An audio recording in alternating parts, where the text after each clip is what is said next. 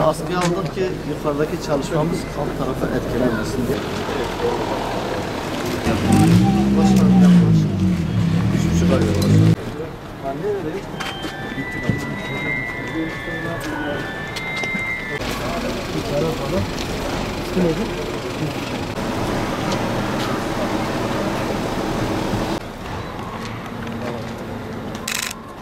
Harran Kapı Camii karşısındaki Çubukçu Hanı'ndayız şu anda. Buranın restorasyon çalışmalarını takip ediyoruz. Bugün incelemelerde bulunduk. Üç buçuk ay önce burayı ihale ettik. Faaliyetler, çalışmalar süratle devam ediyor. Burada 8 tane oda var. Tarihi bir han. Ee, bu hanın önce kuvvetlendirmelerini arkadaşlar yaptılar. E, şimdi de restorasyonu devam ediyor.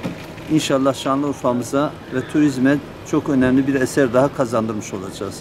Şehrimiz için hayırlı uğurlu olsun.